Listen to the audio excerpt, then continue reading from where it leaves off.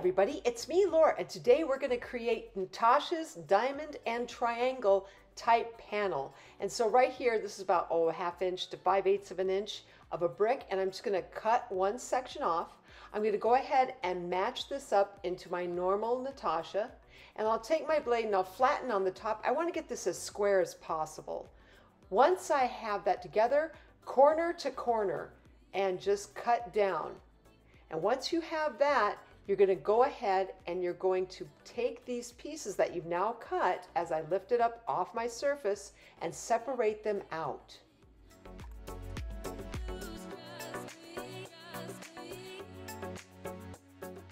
Now you'll notice here that two of the pieces are going to be a natural Natasha.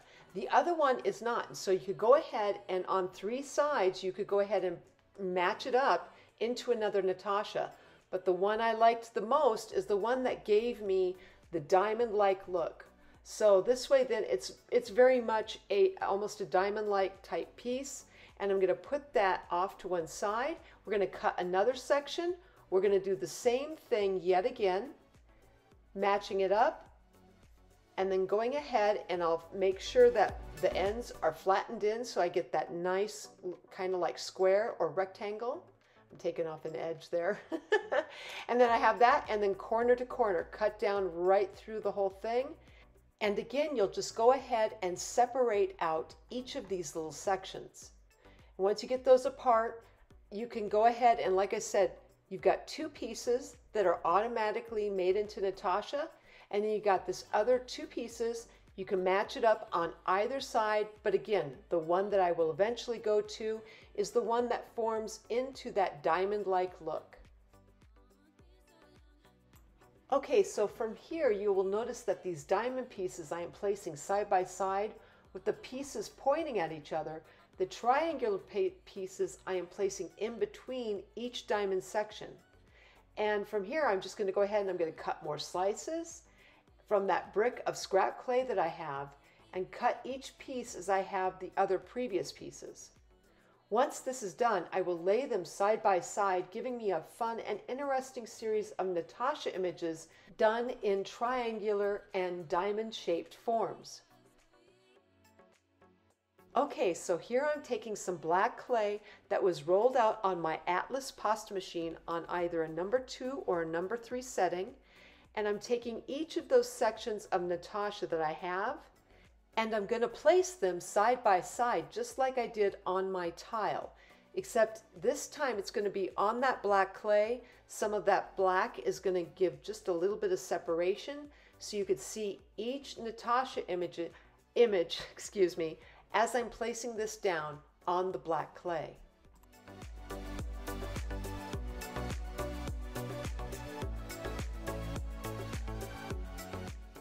Once I have this together, this particular piece, I could keep going and make more sections, cut more diamond and triangular patterns with this, and it could turn into a really nice border for either a votive or some other kind of piece that I'm working on.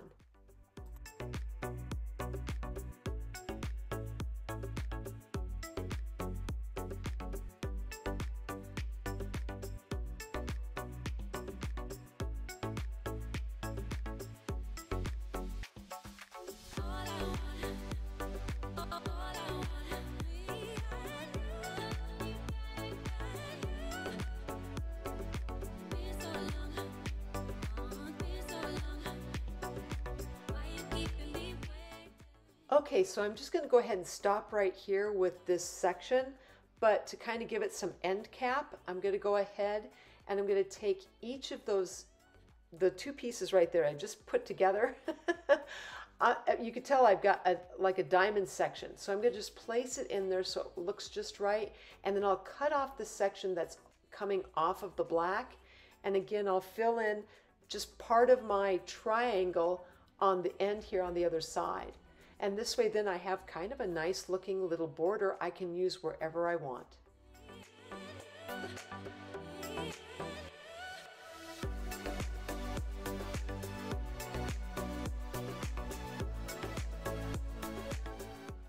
Okay, so off of this brick, I'm going to cut two more sections and we're going to go ahead and recreate that same Natasha type image again, where I'm going to go ahead and use my blade to create more of a squarish or rectangular form.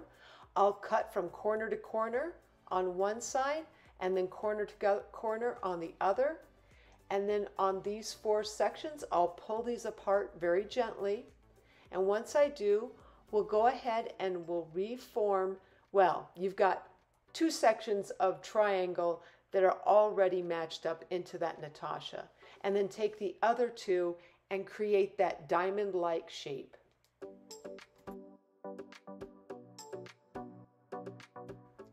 Okay, now I've got that diamond-like shape and we're gonna change this just a little bit. Just like you had the panel before where it was sitting side by side, we're gonna take those two triangular pieces and put them on the points of that diamond-like piece. And we're going, I'll go ahead and now I'm just gonna put a little bit of black clay right in between. And to me, this looks kind of like a bow tie. I don't know, it just looks to me like a bow tie. I figured that would be kind of fun, you know. It could also be, I don't know, in some regards, it also looks like maybe a candy wrapper. so I'm going to do this yet again, and I'm going to place it right underneath the one that I had just done. And this gives you then another alternative with a bow tie type feature.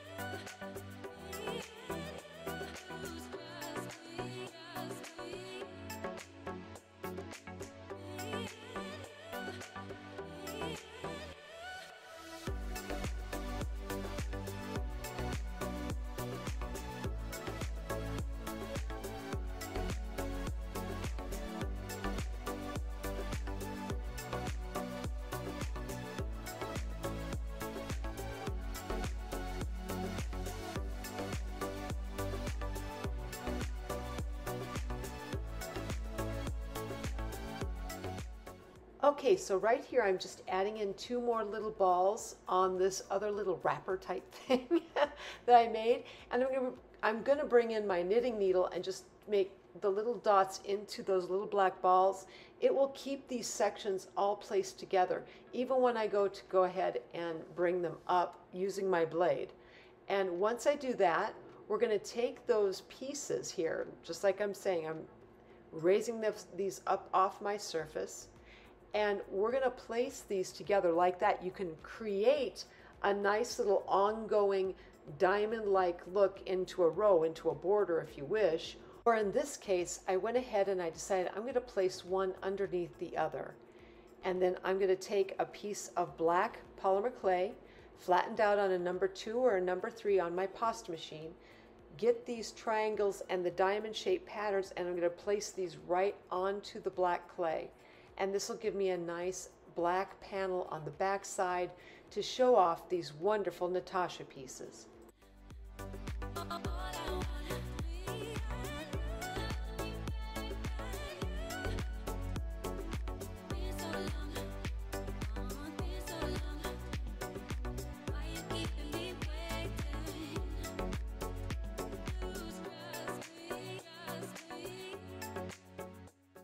Okay, so here are my results from creating my Natasha diamonds in polymer clay. And if you would like to see more of this, check me out on patreon.com where I have the extended version of my Natasha diamonds. Otherwise, please use this for study and reference. And if you like this video, please like, subscribe, and leave me a comment. I am always wondering what you guys are thinking. And as always, I am sending out my biggest hugs to each of you, and I hope you have a fantastic day.